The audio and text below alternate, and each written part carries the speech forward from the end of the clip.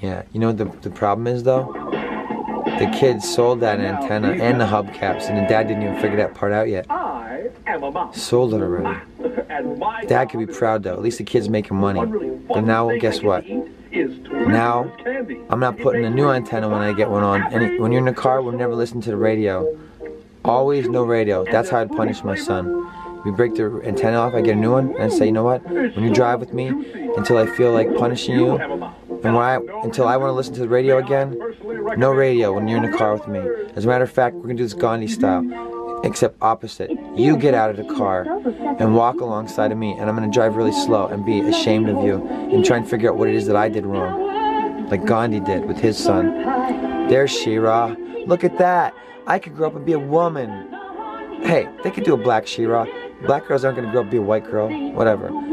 Just don't make as many because whatever the country's like and whoever will buy what. You gotta think of, you know, like who's gonna buy them.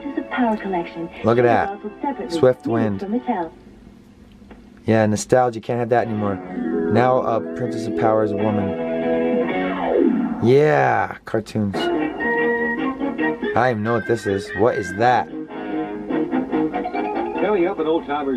Anyway, pride when he helps prevent We're coming up around the end. I hope you're having a great holiday. This is just one of your presents. Oh, look at all the goodies I got for you. I hope you enjoyed this horrible, horrible man saying these horrible, horrible things. I bet you think I'm racist. I bet you think I hate women. I don't.